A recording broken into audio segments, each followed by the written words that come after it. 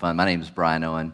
I'm uh, one of the Adult Connections pastor here, and so I work with um, college students, young adults, and uh, young married couples. And what an exciting night we had Tuesday, and it's my joy and honor to get to work with uh, Dakota. He's going to have a table in the back, uh, so if you're interested in getting connected and figuring out how you can do that with us, we'd love to uh, connect with you um, back there. And so, uh, so welcome, thank you, and uh, Braze graciously allowed me to fill in this morning. And um, we're finishing up uh, a series that we're calling Stuck. And the whole reason that we're calling it Stuck, and we're saying five things that are, are missing from your life, um, is really, uh, we would say these five things are pretty crucial um, for if you're a believer and also if you're uh, not a believer. Uh, we would say these things are, are, pretty crucial. And really, in essence, the, the study that we've been looking at in the last couple of weeks, we've been um, the, really the passages, or these passages that we would see in the New Testament called the one another passages.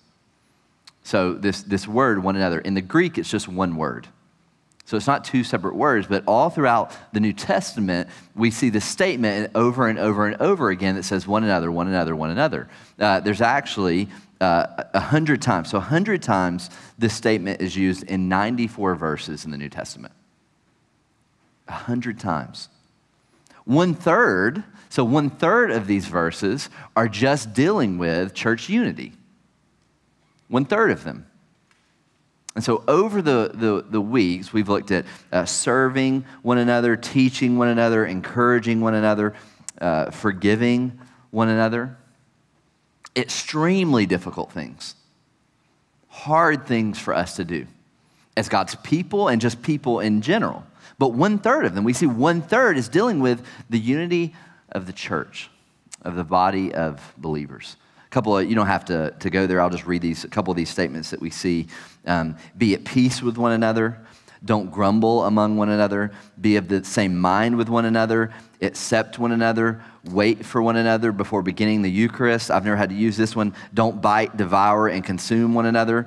Uh, if I get there, um, that'll be a day. Don't uh, boastfully challenge or envy one another, gently, patiently tolerate one another, be kind, tenderhearted, and forgiving one another, bear with and forgive one another, seek the good for one another, don't complain against one another, confess sins to one another.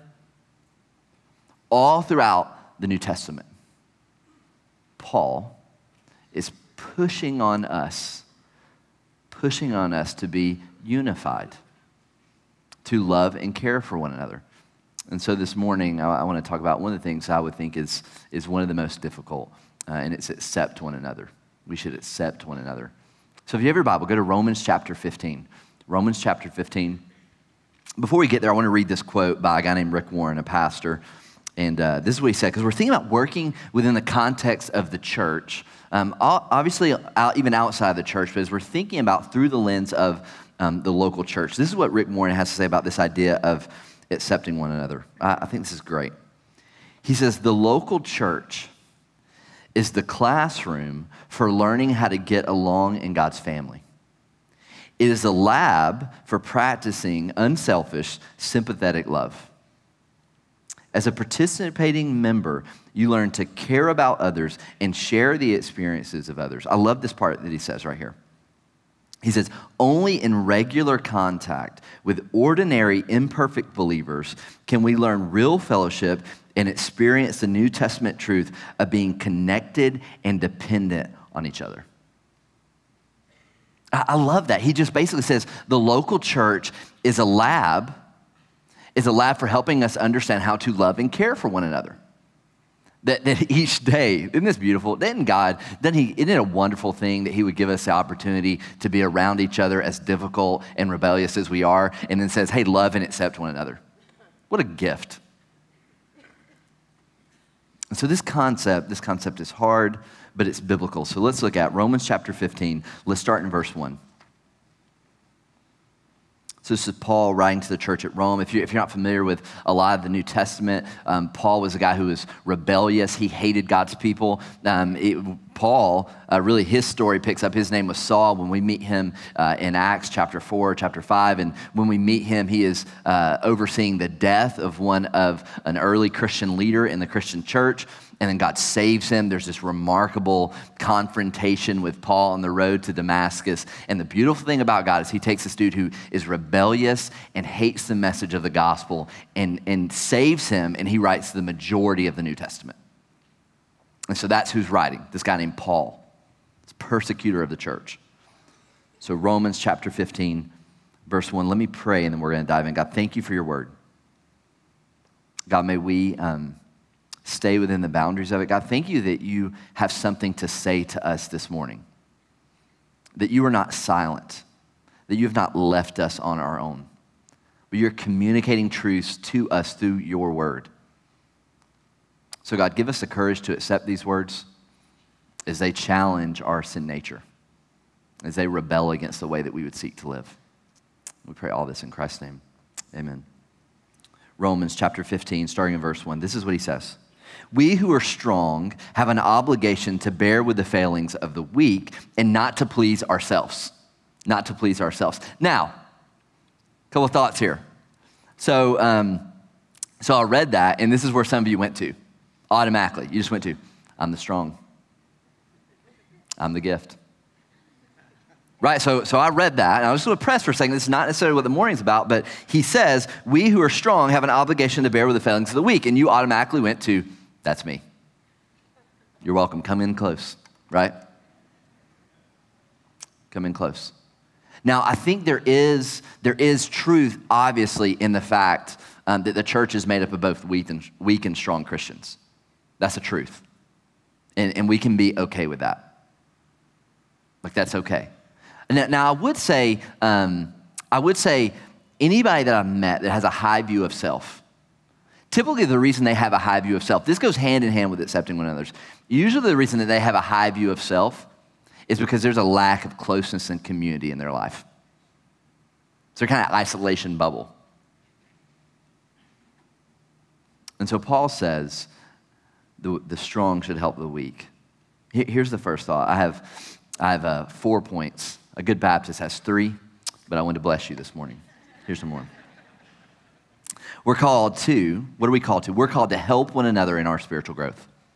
We're called to help one another um, in our spiritual growth. So Paul says there's weak and then they're strong. How do we identify what a weak believer is? I think that's important. I think we fall in both of these categories uh, at various times in our life, depending on what we're talking about. But here are three things that we can help identify what does it mean to be a weak um, believer. Three things. First thing, um, someone who's easily offended. So the reason I say that is because in Romans chapter 14, there, uh, Paul gives this discussion on uh, you have some brothers and sisters who are weak, and so um, you, you, shouldn't eat this in front of them, right? And, and, and Paul is basically saying um, he's not in, he's not he's not necessarily saying encouraging them and going, hey, don't eat these things, don't do these things. He's really saying, hey, you got a weak brother and sister, and so you should be careful about how you live around them. I mean, he's identifying uh, a weakness as those who are easily offended. We, we have a, a tendency in the Christian church.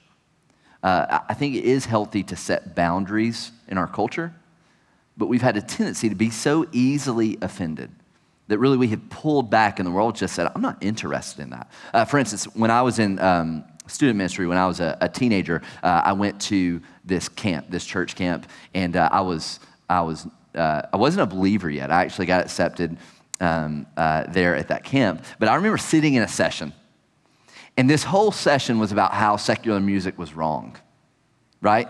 And, and the guy went into a whole presentation of, so he took a record player, as if any of us had records.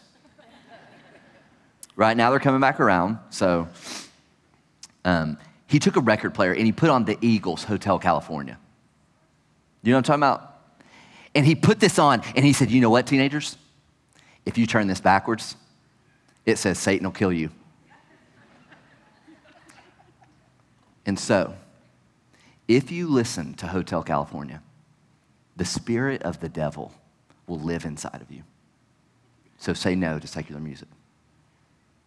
And I, as a teacher, I'm like, oh no, right? And so I'm thinking, oh, I'm, this is not going to be good, right? And so here's what I would say to that. That's kind of silly, right? Um, a lot of that is really this, um, I, I would say, sometimes we're so easily defended that we so pulled back that Paul would probably really identify that as a weakness, that we have, have freedom. And so it's okay to watch Disney films. All right, so easily offended, number one. Second thought, second thought immature in knowledge.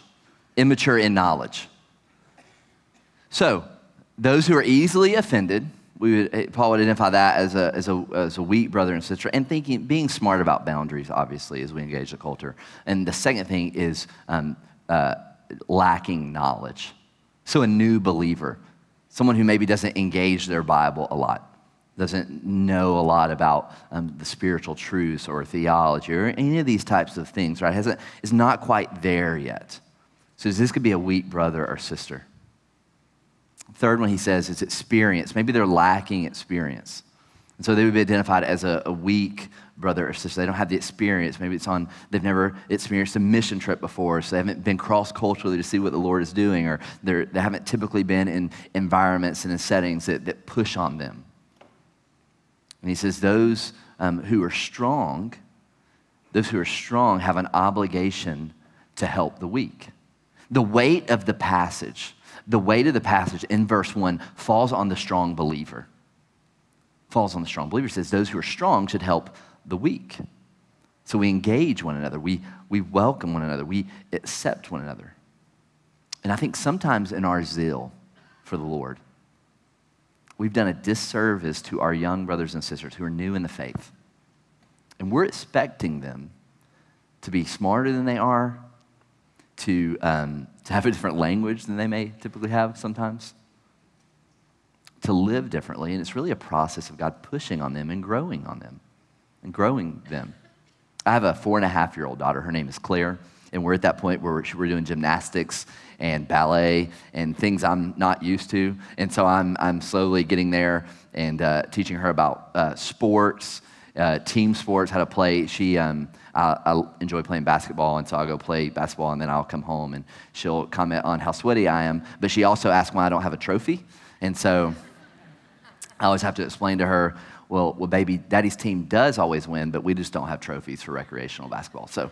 Um, uh, and so imagine this, right? So we, you know, imagine we signed her up for t-ball. She shows up on the field. So you have this 45-year-old uh, coach. He's out there. He gathers the five-year-olds together, and he's talking to me. He says, "Okay, here's the deal. You got first, second, third base, um, home, home plate, right?" So he's having this discussion with five-year-olds.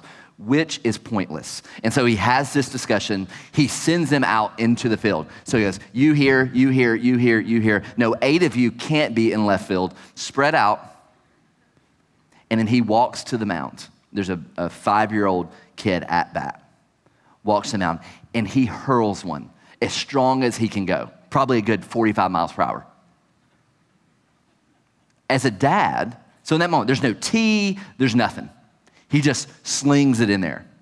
As a dad, right, there's two thoughts I'm gonna think, I kind of like this guy, right? So there's a part of me, you know, with that, but then there's another part of me that's gonna be alarmed. And it's going to go, that's, that, this is not going to work. Someone is probably going to get hurt. And I think in the same way, in our zeal for the Lord, as strong believers, and we're strong in various ways, we've expected young believers and new believers to understand the Christian walk and do it well with no room for growth or error. And it's silly. And it's wrong. And so Paul says the strong believer should help the young believer. He, here's the problem I think that we see a lot. And we see it in the, the, the bottom part of this. So he says, We who are strong have an obligation to bear with the failings of the weak. And, so he's about to add something to that in verse 1 and not to please ourselves. Here is the default position of humanity. This is our default position, my default position, and your default position. Our default position is seeking our own pleasure. Is it not? Have we not, has the culture not told us to align our life in such a way that we would seek our own pleasure? There, there's a philosophical belief that's out there. It's called hedonism. And the whole belief behind hedonism is that the end game, the end game is pleasure. That's what we shoot for. Whatever makes you happy, whatever brings you pleasure, that is what you go for. It is our default position as sinful, rebellious people. It's what makes this idea of accepting one another so hard because we want to seek our own pleasure. It's what makes, uh, I, I, help organize group life here, and um, it, it's what makes group life so difficult because group life is hard. And, and, and many times, until you get into it, it doesn't feel like you're seeking your own pleasure, right? It feels like you are taking from your pleasure. And our default position is one that would say, I, I, want, my, I want my own pleasure. Uh, in the Epic of Gilgamesh, maybe you remember this from, um, from literature class. It's this, uh, this uh, from Mesopotamia, this literature. Uh, there's a character, her name is Siduri. This is what she says. This is the advice that she gives to Gilgamesh. She's trying to distract him. This is what she says. So true for us today. Fill your belly day and night and make merry. Let the days be full of joy. Dance and make music day and night. These things alone are the concern of men. So she says, fill your belly, dance, make music. These things alone are the concern of men. And I'm fearful that some of us, myself included, at times, that instead of helping the weak, instead of welcoming one another, instead of accepting one another, I'm too prone to seek after my own pleasure. And it doesn't, it doesn't honor the Lord. Verse number two, look at verse number two. We'll move a little more quicker. So, uh, Romans 15, verse 2. He says, Let each of us, so he's going to build on this thought, let each of us please his neighbor for his good, to build him up. To build him up. So he says, strong help the weak. Let's fight this idea of pleasing ourselves. Then let each of us please his neighbor for his good to build him up. True Christian community, true Christian community is about building one another up. About building um, one another up, not taking from one another, he, one, one thing that I've found um, that, that works in opposition to building one another up and accepting one another, this is what we have a tendency to do. This is true of me as well. We have a tendency to ascribe value to people. Like, I think we do it unconsciously. We ascribe value to people. So, for, for instance, uh, think about a scale of one to 10. So, you're in a room, maybe you're at work, maybe you're in a social circle that you hang out with and we ascribe value. We go, that guy's an eight, so let me get close to him because he can help me, he can benefit me. That, that person's a two. Uh, if I have time, I'll get to him. This person's a six, so maybe, you know, they're kind of connected, kind of not connected, right? Oh, that person, that neighbor is like a negative two. So let's just, let's stay away from him. That's wrong. And it's plain sinful. And it's what we do. It's just, it, there's something wired inside of us to work that way. And if the command is to accept one another and to bring in one another, if we are thinking these things, consciously or unconsciously thinking these things, we will push away from those who are less than, that we would consider less than, and we would draw near into those who would say are worth more. And so we, we, have, to, we have to fight. Um, we have to fight this idea. This is a first century problem. This is what James says. So, James chapter 2, 1 through 6. And I won't, I won't read it all, I'll just kind of hit it. James chapter 2, 1 through 6. He says, My brother, show no partiality as you hold the faith in our Lord Jesus Christ, the Lord of glory. For if a man, so imagine this, we're in a setting like this at the church, and this is what he says For a man wearing a gold ring and fine clothing comes into your assembly, and a poor man in shabby clothing also comes in. If you pay attention to the one who wears fine clothing and say, You sit here in a good place, while you say to the poor man, You stand over there or sit down at my feet, have you then not made distinction, um, uh, distinctions among yourselves and become, listen what he says, and become judges with evil thoughts? So, so Paul says, let each of us please his neighbor for his good. So he's, he's going against, he's building off of verse 1 and saying, don't seek to please yourself, seek to please others. But not just seek to please others, but seek to please others for what? For their good. For their good. So, how, how do, we, how do we do this just practically? Um, how, how, does this play out? Uh, there, there's that old saying, hear a need, meet a need. Maybe God's called you to be generous towards someone as you can. Say an encouraging word. We talked about this some uh, in the last few weeks about saying an encouraging word uh, to someone. We, we in our in my group two weeks ago we were talking about this idea of encouraging one another, and uh, in, in, some ways this idea of ascribing value. What would it look like if a if a community um, was affected by a group of believers so much so that we were seeking to encourage those who are in positions ahead of us, at, say at our workplace or, or where, wherever it is that, that whatever your context is what if we, for the sake of the gospel, said an encouraging word to, to uh, a man or to a woman that, that has the job that we want? Could hurt us by encouraging them. But we seek to, to build one another up, hear need, meet a need, encourage, say an encouraging word, take time to sit down. Maybe you just sit down with someone, have a face to face conversation with somebody, just primarily for the sake of building them up, not to take anything from them but to seek to build them up. Have a cup of coffee, lunch.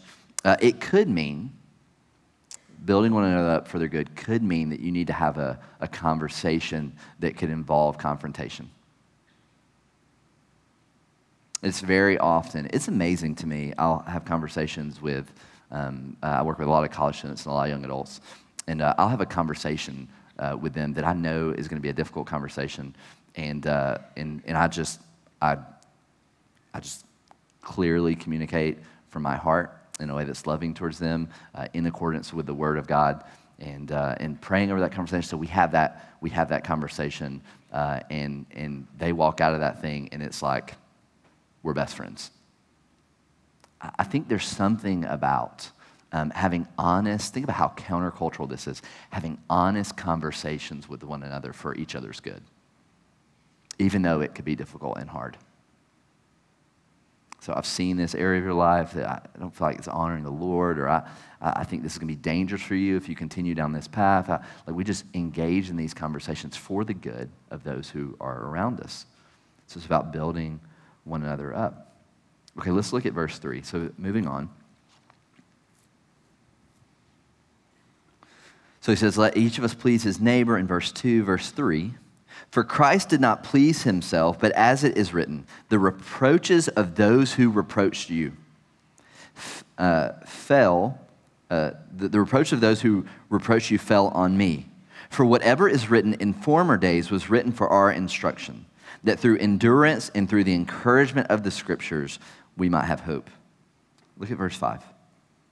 May the God of endurance and encouragement grant you to live in such harmony with one another May the God of endurance encourage you to live in harmony with one another.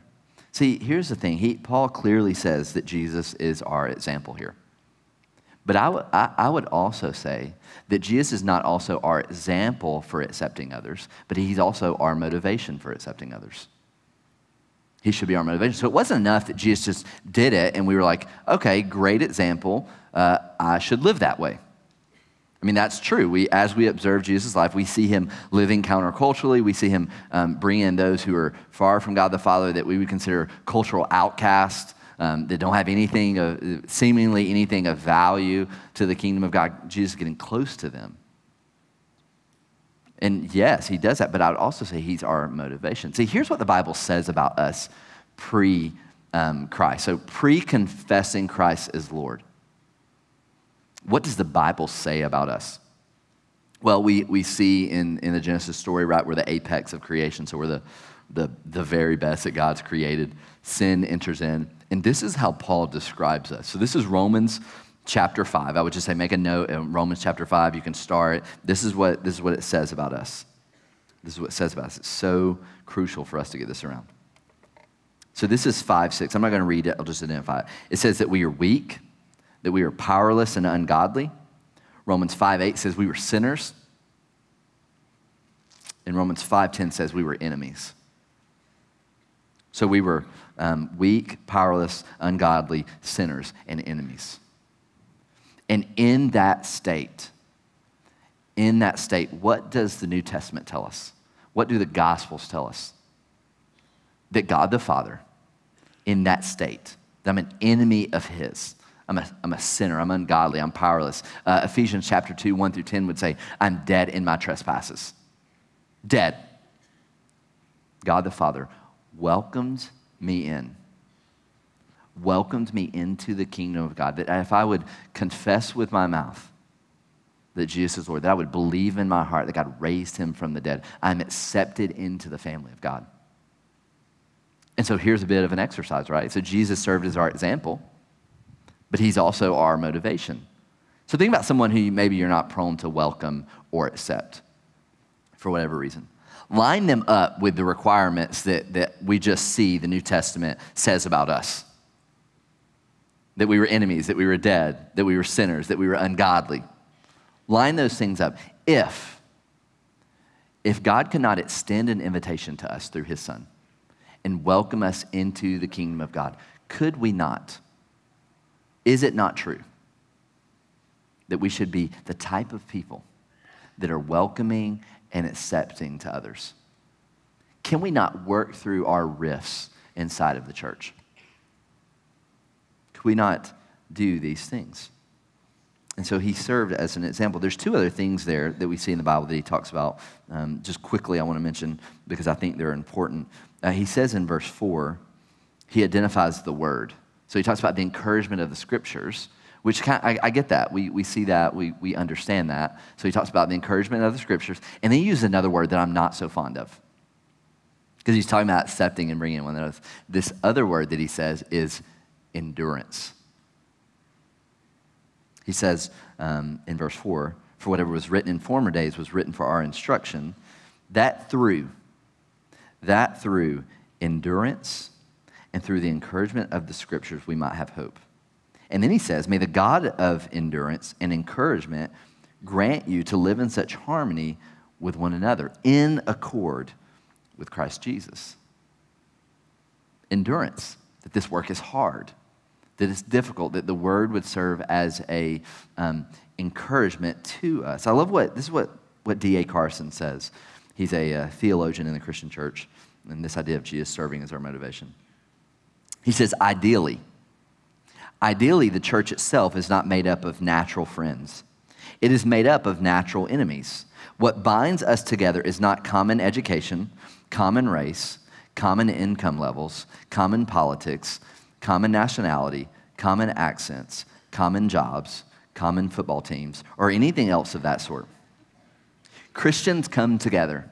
Listen to this Christians come together because they have all been loved by Jesus himself. They are a band of natural enemies who love one another for Jesus' sake. A band of natural enemies who love each other for Jesus' sake. He is our motivation. If these things were true about us and He brought us in, so it's, it's a valuable exercise as we look at Romans 5 to think, man, that's who I was. Let's finish up here looking at, so he says, live in harmony with one another. Look at verse 6. This is huge. That together, that together you may with one voice. Look what he's going to say here. So he says, strong, help the weak. He says, build one another up for your good. Don't go after your own pleasure. He says, uh, endure, push through, right? Uh, there's no other word that I can help, like, that makes sense for accepting one another other than endure. Let, allow the scriptures to encourage you. Ask God to help you, that He would serve as an encouragement to you. It says, live um, in harmony with one another. Then in verse 6, he says, if we do these things, if we do these things well, he says that together you may with one voice glorify the God and Father of our Lord Jesus Christ. Therefore, what's it therefore? Anytime you see a word in the Bible, you say, What is it therefore? So he says, Because of these things that I just talked about, because of these things I just talked about, therefore, welcome one another And he's going to remind us here welcome one another as Christ has welcomed you. Christ has welcomed you. For, why? For the glory of God. What is the result? The glory of God. Now, what does that mean, the glory of God?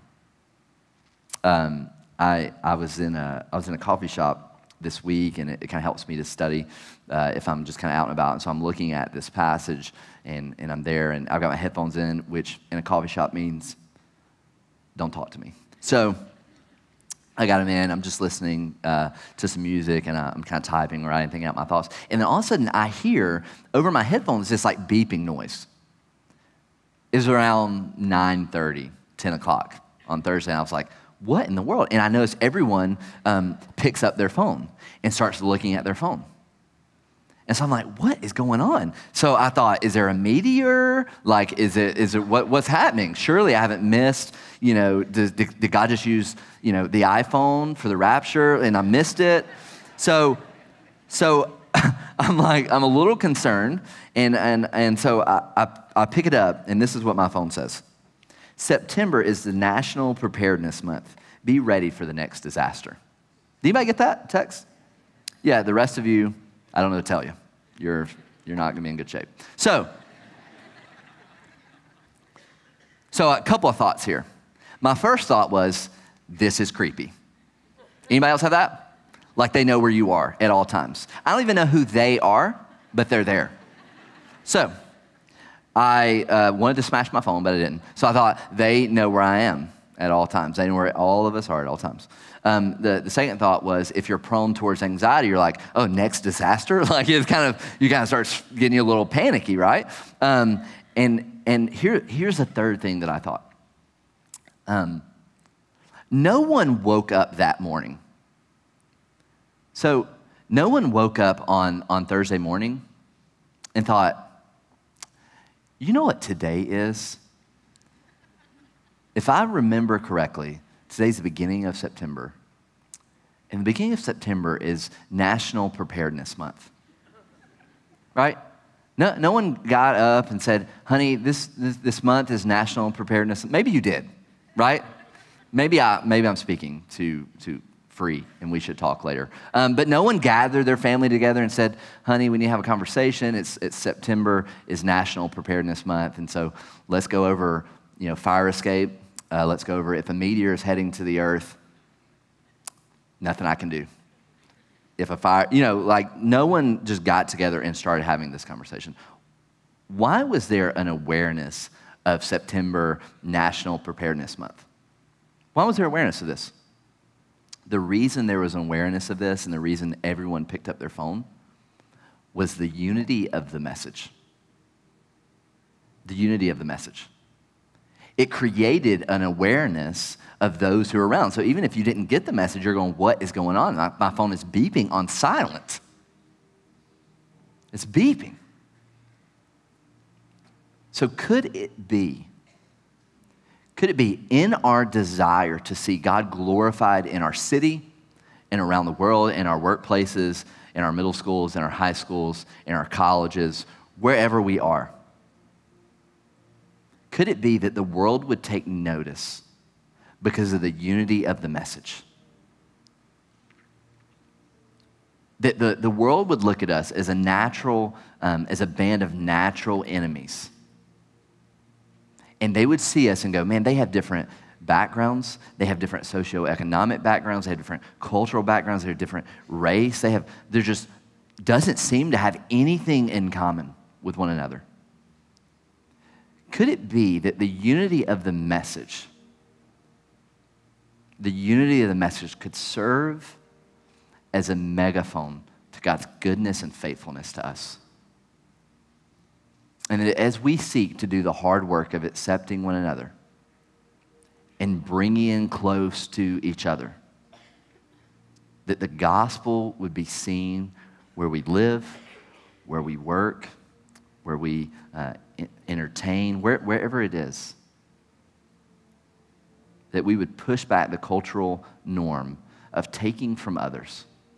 And we would push into the gospel reality that we are a people who were far from God that has been welcomed in and brought near by the death and resurrection of Jesus. It's the unity of the message. And so maybe this morning, maybe this morning you need to confess. You need to repent to the Lord for having a posture that is unwelcoming to others. Maybe you need to ask for forgiveness. You need to confess to the Lord.